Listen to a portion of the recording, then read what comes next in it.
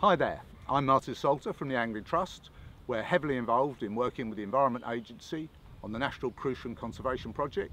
It's a project that aims to promote the crucian carp, to promote its habitat, to conserve the species and to encourage angling clubs and fishery owners to think about stocking crucians and think about doing what Godalming Angling Club have done here at Johnson's Lake, creating bespoke crucian fisheries that prove incredibly popular with anglers.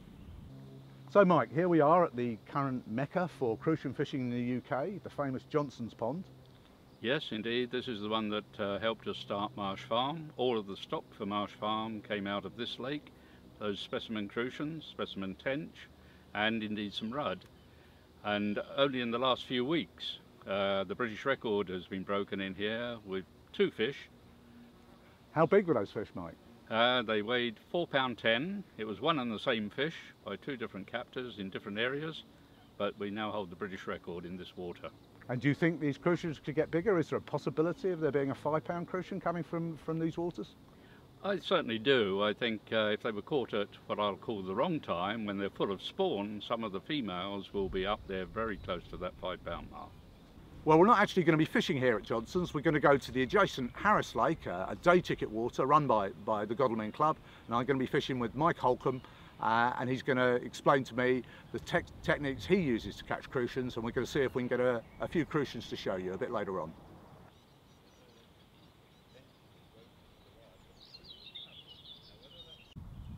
So Mike, why 15 years ago did Godalming Angling Society decide to concentrate on creating bespoke crucian fisheries down here at Marsh Farm? Well, we felt uh, that there's more than enough carp angling around. We have three very good carp waters, and therefore we wanted to offer the membership an alternative for both specimen and pleasure anglers. And what better than crucian, tench, and rudd, beautiful summer fish. And do you find that tench are a good partner fish with, with crucians? Do they mix well together? We believe they're the most ideal partner fish. They don't compete in many ways and this water is evidence of that. We've got tench now up to 10 pound and the crucians as we all know are over 4 pound. They thrive together. They're incredibly finicky uh, today. It's great to catch them on the float but you can see why people use short hook lengths and swim feeders.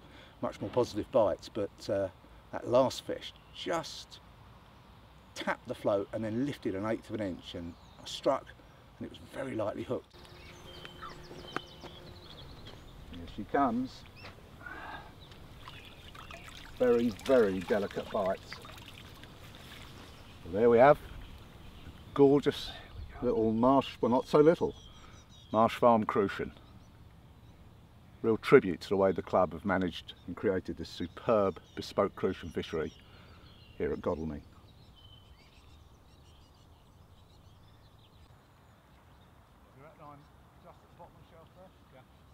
Well, isn't that a sight for sore eyes? Cracking crucian carp from Harris Lake, courtesy of Godalming Angling Society. Fantastic. Well, didn't we get some tremendous fish from Harris Lake? We're really, really lucky. We found the crucians feeding, caught many specimens up to over two pounds. Uh, we also had some lovely tench amongst them as well. Great day's sport. But now it's time to nip over to Newbury, a few miles north from here, and see what Newbury Angling Association are doing to create their own bespoke crucian fishery at Warwick's Water.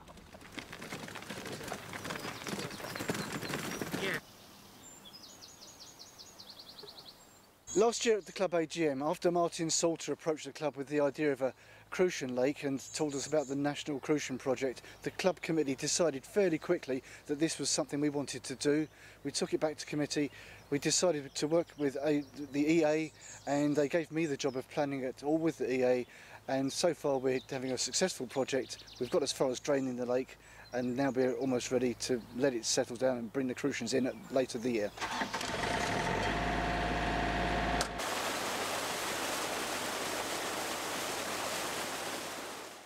Okay, we're uh, delighted to be working with the Newbury Angling Association today at Warwick's Water as part of the National Crucian Carp Conservation Project. Um, our involvement up to this point has been uh, helping with the health check, getting a health check to make sure the fish that are in here can be moved safely to other waters. Uh, there's fish in here such as carp, perch, roach um, that we've, we've, successfully moved to, to, a couple of the club's other waters. We've got buckets ready. We have got a team up there with uh, bins and stuff. We've got one fish here.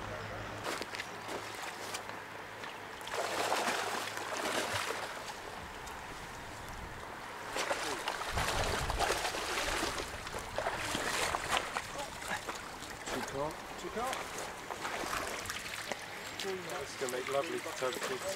See all these lovely little tench in there? Oh yeah. We haven't seen hardly any big tench, but These out. sorted them out before uh, we put them in. Sign of a crucian at all? No.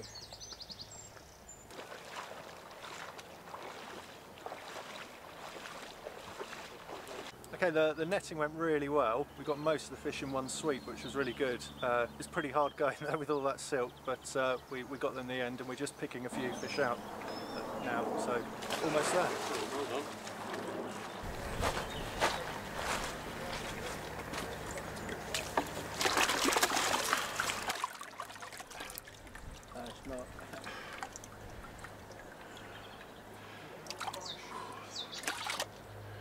I'm not very good at carp weights, but I reckon this carp is about seven or eight pounds. I think it's one of about uh, 50 to 60 that we've taken out.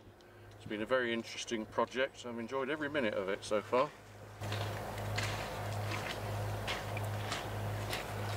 The club's long-term plan for Warwick's Water is that in a couple of years it'll be a classical crucian fishery with lots of weed growth in there and some nice sized crucians coming out and after a year the club intends to put some tench in there as partner fish to the crucians because they, we know they live well together. Well, what a fabulous job the guys at Newbury Angling Association are doing in turning this lovely little pond here at Warwick's Water into a new crucian and tench fishery. And you know, it's important with crucians to ensure that they are only put in with compatible species. And if you want some company for your crucians, then, as we saw down at Marsh Farm, tench are the ones to go for. That's a beautiful tench. That's probably five.